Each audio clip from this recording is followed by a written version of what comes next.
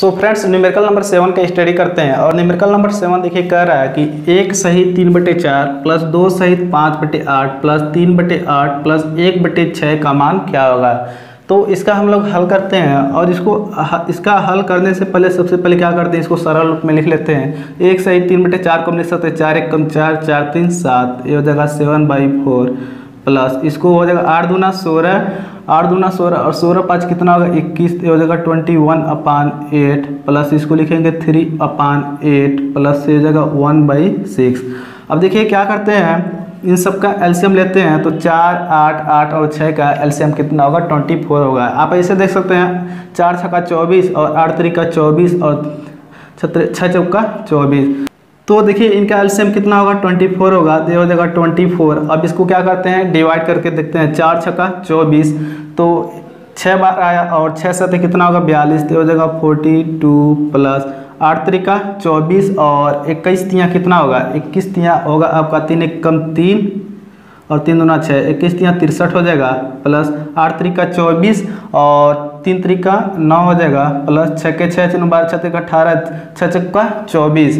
तो यहाँ पर कितना, चार और चार एक कम कितना हो जाएगा, चार हो जाएगा, ठीक है? अब ऊपर क्या करते हैं, इसको ऐड कर लेते हैं और नीचे लिखेंगे ट्वेंटी फोर तो ये हो जाएगा ट्वेंटी फोर और ऊपर देखिए क्या हो जाएगा, अब चार और नौ चार कितना होता? है तेरह तेरह तीन कितना होगा? सोलह, और सोलह दो कितना होगा? उन्नीस उन्नीस को हो जाएगा नौ, हाथ में है, एक। और देखिए यहाँ पे क्या हो जाएगा? छः, चार, दस, एक, ग्यारह। एक सौ उन्नीस बटी चौबीस, और फाइनली इस क्वेश्चन का क्या होगा? ये आंसर होगा। तो आई होप आपको एक क्वेश्चन नंबर सेवन समझ में आया होगा।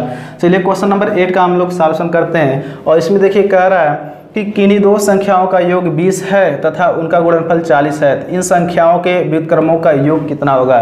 तो इसका हम सबसे पहले क्या करते हैं? हल करते हैं। तो बहुत सिंपल सा न्यूमेरिकल है। और देखिए, ऐसा पहली बार हम लोग ऐसा न्यूमेरिकल लगा रहे हैं। तो चलिए इसका सॉल्यूशन करते हैं। और कैसे करेंगे? इसका हल वीडियो में हमारे साथ बने रहिए।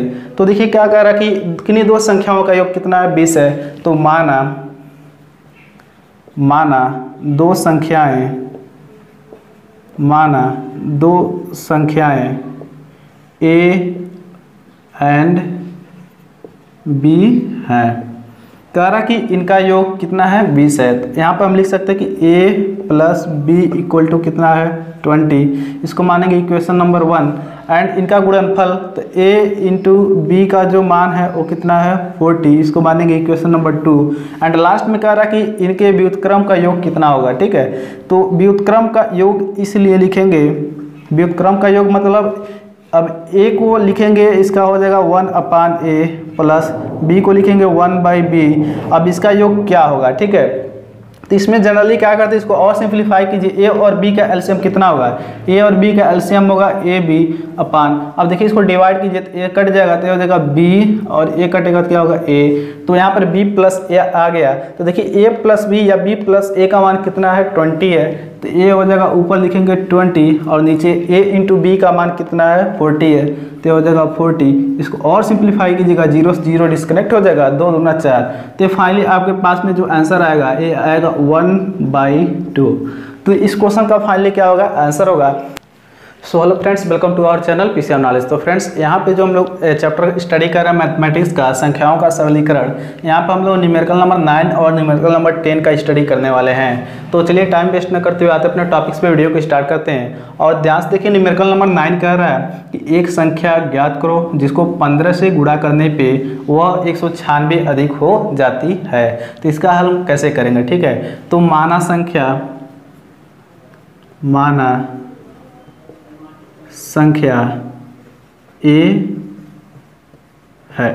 तो क्या कह रहा है कि ऐसी संख्या से गुणा करना है, जो क्या कहते हैं, पंद्रह से गुणा कर रहे हैं, उसमें तो कितना अधिक हो रहा है? एक सौ छियानवे अधिक हो जाती है। तो मानव संख्या ए है और ए है और इसमें जब हम पंद्रह का गुणा कर रहे हैं तो एक सौ छियानवे से क्या होती है? ए अधिक हो जाती है। तो वो संख्या हमको फाइंड करना है।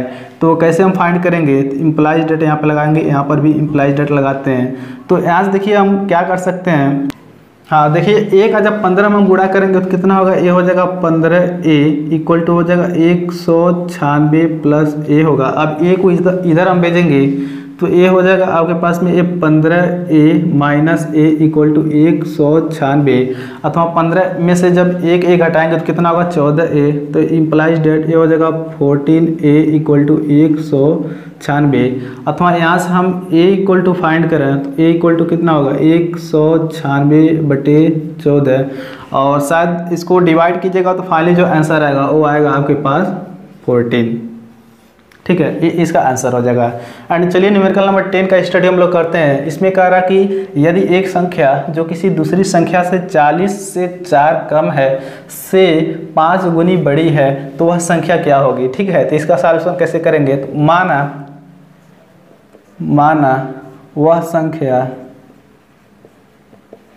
माना वह संख्या ए है, या फिर ऐसे मान सकते हैं। और देखिए, इसमें क्या कह रहा है कि यदि एक संख्या जो किसी दूसरी संख्या 40 से चार कम है तो 40 से चार कम क्या होगा? 36 होगा। तो हो गया 36 से पाँच गुनी बड़ी है, इंटू से पाँच गुनी बड़ी है। से पाँच गुनी बड़ी है तो संख्या क्या होगी? तो क्या करते हैं इसमें हम फाइव से मल्टीप्लाई करते हैं तो इक्वल टू हमको फाइंड करना वो संख्या क्या होगी? तो यहाँ से हम प्लाइज डेट लगाते हैं और 36 में देखिए जब पाँच का गुणा करेंगे, छः पचे तीस को कितना होगा? ज़ीरो होगा। हाथ में आया? तीन और पाँच या पंद्रह, तीन अट्ठारह है तो वो संख्या क्या होगी? एक सौ अस्सी होगी। तो बहुत सिंपल सा न्यूमेरिकल था और इसका सॉल्यूशन हमने फाइंड कर लिया। तो फ्रेंड्स वीडियो यहीं तक था। वीडियो कैसा लगा? लाइक कीजिए, अपने दोस्तों में शेयर कीजिए। तब तक नेक्स्ट वीडियो में आपसे मिलते हैं। Thanks for watching